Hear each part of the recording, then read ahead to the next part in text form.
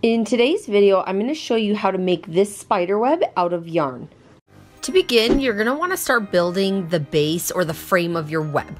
Um, and you don't need perfectly straight lines, but make sure you are wrapping the yarn around the center every time you cross it so that it stays in the middle. You'll also want to try to keep your lines a little off-centered for a more authentic look.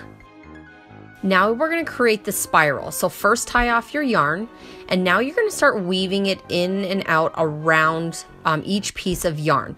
The way you're going to want to go is whatever direction you're going in, you're first going to cross the yarn, wrap it under, and then and bring it forward again. So here you can see I'm going under, pull it over, and I kind of pull it snug to make sure that it's not super loose or anything.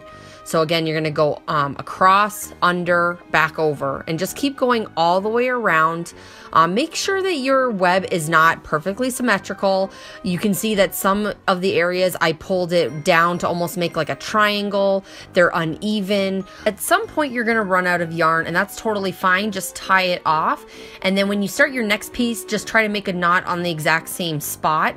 And then you're just gonna continue going all the way around.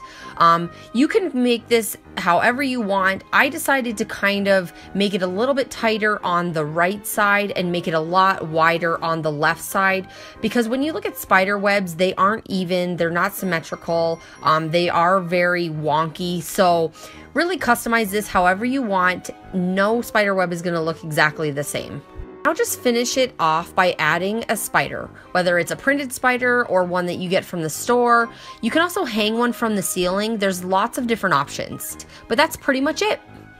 What I particularly like about this is that it doesn't take very long to make and you can make it as big or small as you want. So if you want to do this on the whole entire side of your house, you know, instead of using yarn, maybe use rope or something like that. The options are really endless, so go crazy. If you guys liked the video, please give me a thumbs up. And if you want to see more tutorials like this, don't forget to subscribe.